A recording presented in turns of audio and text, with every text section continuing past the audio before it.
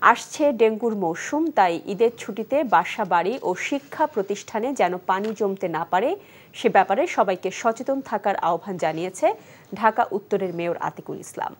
Dengue নিয়ন্ত্রণে জনসচেতনতার বিকল্প নেই জানিয়ে মেয়র বলেন, প্রতিটি ওয়ার্ডে নতুন করে পঞ্চাশ হাজার টাকা বরাদ্দ দিয়েছে ঢাকা উত্তর সিটি কর্পোরেশন।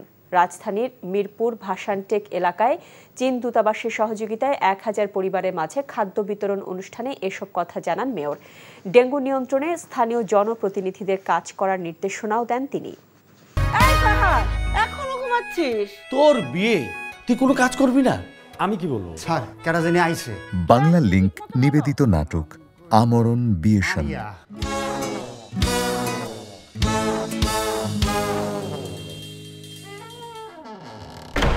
কে তুমি মা? ফাহাদের মুখ থেকে শুনলেই সব বুঝতে পারবেন আঙ্কেল। ফাহাদ? আরে দরজাটা খোল। তাহলে আমাকে বিয়ের জন্য অনশনে বসতেই হবে।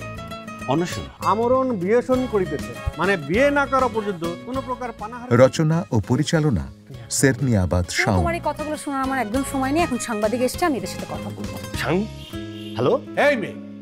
আমার মেয়ে যে আন্দোলনটা করছে এটা হান্ড্রেড পার্সেন্ট যৌক্তিক। প্রেম করবে আমার সাথে আর বিয়ে করবে অন্য কাউকে? দেখবেন ঈদের দিন বাংলাদেশ সময় রাত সাতটা পঞ্চান্ন এবং নিউ ইয়র্ক স্থানীয় সময় সকাল নটা পঞ্চান্ন মিনিটে।